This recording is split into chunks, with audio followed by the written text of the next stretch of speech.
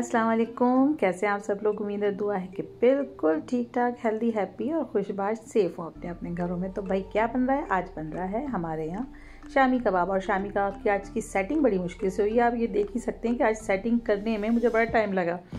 चार कबाब और सेट नहीं हो पा रहे थे तो फाइनली सेट हो गए थे। लेकिन आज हम बनाएँगे चिकन के शामी कबाब और बहुत ही टेस्टी और जूसी और टेंडर बहुत मज़े के बनेंगे स्पाइसी से। तो बस मेरे साथ रहिएगा।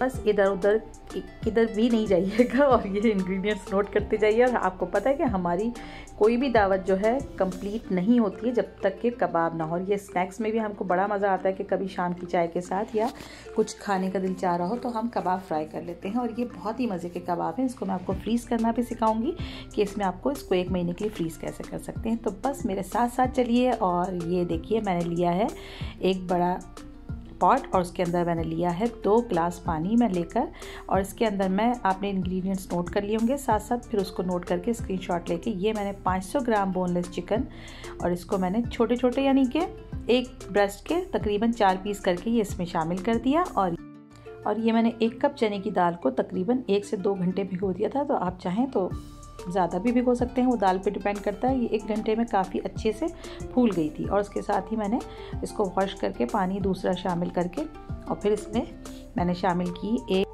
एक छोटी प्याज शामिल कर दी और एक टेबल स्पून भर के इसके अंदर लहसुन अदरक का पेस्ट जाएगा। और बस प्याज को मैंने रफली ऐसे दो चार पीसेस में कर दिया था क्योंकि ये तो अच्छे से गल जाएगी। और एक टेबल स्पून इसमें डाल, इसमें डाले मैंने धनिया, साबुत धनिया और एक टीस्पून ही डाला इसमें मैंने साबुत ज़ीरा। अच्छा इसको मिक्स किया और फिर बाकी सारी चीज़ें, जाएँगी मसाले तो इसमें मैंने शामिल करा है। बस ये बहुत अच्छे बनेंगे और इस इस क्वांटिटी में तकरीबन बारह से पंद्रह बन जाएँगे कबाब आपके, छोटे पैटी अच्छे से बन जाएँगे। और स्टिक जो है वो दालचीनी की डाली है, एक तेज़पात डाल दिया है और ये कुछ आठ दस लौंगे और दस बारह काली मिर्चें हैं साबुत और सात से आठ मैंने सूखी लाल मिर्च डाली है।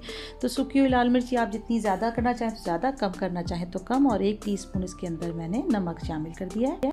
तो नमक भी आप अपने टेस्ट के मुताबिक कम या ज़्यादा कर सकते इसको बॉईल किया अच्छे से।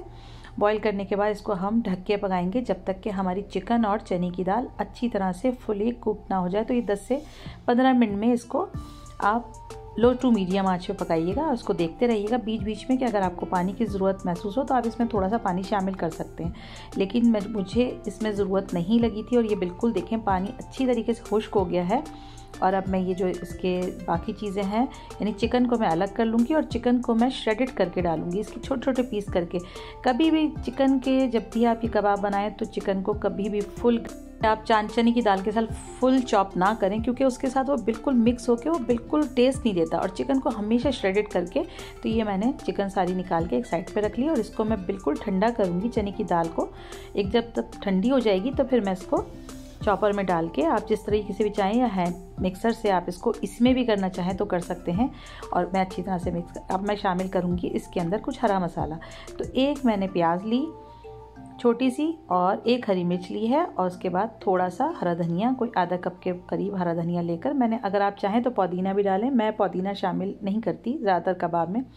और ग्राइंड करते हुए तो बिल्कुल नहीं करती, उसके बाद मैंने चने की दाल थोड़ी थोड़ी करके, अगर आपके पास बड़ा चॉप, चॉपर है तो आप एक साथ कर लीजिए। और इसको फिर मैंने एक लार्ज बाउल में ट्रांसफ़र कर दिया सारा, और इसके साथ अब हम चिकन को श्रेडिड करेंगे। तो चिकन भी हमारे अच्छे से ठंडी हो गई है, और उसको मैं हाथ से हल्के हल्के से इसके रेशे बना लूँगी इस तरीके से। ये देखिए, चाहे आप फोक की मदद से कर लें या हाथ से कर लें, ठंडी हो चुकी है तो आप हाथ से भी कर सकते हैं आराम से, और सारी करने के बाद इसमें हम शामिल कर देंगे। तो इस तरह करने से बहुत ही अच्छे जो आपको रेशेदार कबाब होते हैं ना, यानी कि जो चिकन का रेशा आता है, वो बनते हैं। तो हमेशा चिकन के कबाब इसी तरीके से बनाइए। फुल आप ग्राइंड या फुल चॉप मत कीजिएगा, बिल्कुल भी। इस तरीके से बनाएँगे, बहुत टेस्टी बनेंगे। और उसके बाद मैंने एक अंडे को फेंट के इसमें शामिल कर दिया। ये हमारा बाइंड ये हमारे मिक्सचर को बाइंड कर देगा, एक अंडे को फेंट के इसमें शामिल कर देंगे और एक टेबल स्पून में इसमें कॉर्नफ्लावर कॉर्न स्टार्च भी डालूँगी। और अगर कभी ऐसा हो कि आपको लगे कि आपका मिक्सचर जो है वो पतला हो गया थोड़ा सा रनी सा हो रहा है तो आप अंडे को मत डालिएगा, अंडा स्किप करके इसमें दो टेबल स्पून कॉर्नफ्लावर और एक टेबल स्पून भर के ब्रेड क्रम्स के डाल दीजिएगा। और इसके साथ ही मैंने इसमें हाफ़ टी स्पून इसमें गर्म मसाला शामिल किया, पिसा हुआ, और इसको अच्छी तरह से मिक्स करेंगे। बिल्कुल बहुत अच्छी तरह से आप चाहें तो हाथ से, आप चाहें तो चम्मच से, इसको अच्छी तरह से मिक्स करके स्मूथ सा डो बना लीजिए। अच्छा मैं आपको पहले भी रेसिपी एक बीफ शामी कबाब की दे चुकी हूँ तो आप वो उसका डिस्क्रिप्शन बॉक्स में मैं उसका लिंक शेयर करूँगी, आप वो भी चेक कर सकते हैं। और इसके साथ जो है, बस इसको अच्छी तरह से हमने मिक्स किया। ये बच्चों के लंच बॉक्स के लिए भी बहुत अच्छे हैं, बहुत अच्छे बनेंगे कबाब। बस उसमें मिर्चें आप कम कर दीजिएगा या बच्चे के लिए अगर नहीं खाते हैं आपके बच्चे तो आप मिर्चें स्किप कर दीजिएगा और इसमें से मैंने काली मिर्च थी, अगर नहीं वो ग्राइंड हुई है चॉप हुई है तो आप निकाल सकते हैं काली मिर्च और लौंग।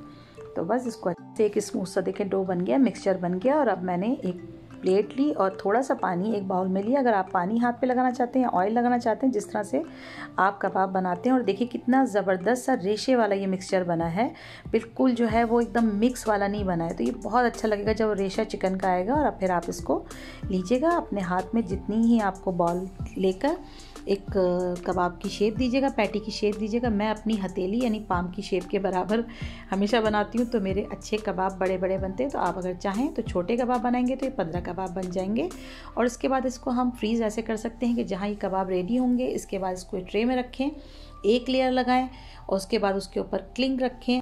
आपके पास क्लिंक नहीं है तो क्लिंक शीट नहीं है तो बटर पेपर रखें। बटर पेपर नहीं है तो कोई शॉपर को काट के उसकी एक लेयर रखें, उसके ऊपर दूसरे कबाब रखें और उसको फ्रीज़ कर लें। और इस जगह पे अभी मैंने कबाब को पहले 10 मिनट के लिए, आप जब आपको फ्राई करना हो फौरी तौर पे तो आप 10 मिनट के लिए इसको फ्रिज में रख दें, ताकि वो अच्छे से सेटल हो जाएँगे और फ्रीज़ हो, वो थोड़े से ठंडे होकर वो बहुत अच्छे फ्राई होंगे। और उसके बाद इस जगह पर आप फ्रीज़ कर सकते हैं, इसी तरीके से जिस तरह मैंने बताया, और जब वो फ्रीज़ हो जाएँगे अच्छे तरीके से, एक लेयर दूसरी लेयर तो आप उनको किसी भी एयर टाइट कंटेनर में करके रख दीजिएगा। बस मैंने एक अंडे को फेंटा अच्छे से, कांटे की मदद से और इसके अंदर हम इसको पहले हमने ऑयल गरम किया, पाँच से छः टेबल स्पून हमने एक फ्राई पैन में गरम किया ऑयल और उसको अच्छे से पहले हमने मीडियम आँच पे गरम किया, फिर उसको लो कर दिया और मैंने कबाब को इसके अंदर डिप किया। कबाब को हर तरफ़ से इसको कोट कर लेंगे अंडे के साथ और फिर इसमें हल्के से आराम से शामिल कर देंगे हम ऑयल में। तो दो कबाब एक टाइम पे बना रही हूँ मैं। इसको स्लो आँच पे दो से तीन मिनट तक इसको पकने पकने दीजिएगा और इसको टच मत कीजिएगा, क्योंकि टूटने का डर होता है। जब एक साइड से ये अच्छे से गोल्डन फ्राई हो जाएँगे, फिर इसको हम, वो आपको दिख जाएगा, खुद ही पता चल जाएगा कि अब आपको पलटने का टाइम हो गया। तो देखिए, एक साइड से किया, अब ये टूटेंगे नहीं। बहुत आराम से इसको आपने फोक की मदद से या स्पून से, जिससे भी आपको कंफर्टेबल हो, आप इसको पलट दें। और दोनों साइड से हमें इसको गोल्डन ब्राउन करना है। यानी दो से तीन, चार मिनट में ये दो मिनट, एक साइड से दो मिनट, एक साइड से ये देखें इस तरह के गोल्डन फ्राई करके हम निकाल लेंगे। तो बस इस तरह से मैंने चारों कबाब बना लिए थे और बाकी के मैंने फ्रीज़ कर दिए थे, यानी फ्रीज़र में रखे, उसको पहले अच्छे से अभी मैंने ट्रे में रख दिया है। अगर आप ज़्यादा कबाब बना रहे हैं तो फिर एक लेयर उसके ऊपर लगाइएगा क्लिंक की या बटर पेपर की, और उसके बाद आप इसके ऊपर दूसरी लेयर लगा के फ्रीज़ कर दीजिए। और जब वो फ्रीज़ हो जाए अच्छे से तो उनको फिर आप कंटेनर में करके रख दीजिएगा। ये आपको निकालना हो तो उसको दस मिनट के लिए आप पहले निकालिए और पहले निकाल के उसको काउंटर पर रख के, और फिर उसके बाद आप उसको तेल गरम करके अच्छा सा डीप फ्राई कर लीजिए। तो ये तैयार है हमारे शामी कबाब चिकन लवर्स के लिए। बेहतरीन से शामी तैयार हैं। बच्चों के लंच बॉक्स के लिए बहुत अच्छे हैं। बस इसमें मिर्चें कम कर दीजिएगा आप। तो बनाइए। एक दफ़ा ज़रूर ट्राई कीजिएगा। बहुत ही मज़े के कबाब बने हैं ये वाले। तो मेरे साथ साथ रहिएगा अच्छी अच्छी सी ऐसी बहुत सारी रेसिपीज़ के लिए। और मेरे चैनल को सब्सक्राइब कीजिएगा और रेसिपी पसंद आई है तो लाइक कीजिएगा कमेंट कीजिएगा। थैंक यू सो मच जब तक के लिए टेक केयर अल्लाह हाफिज़।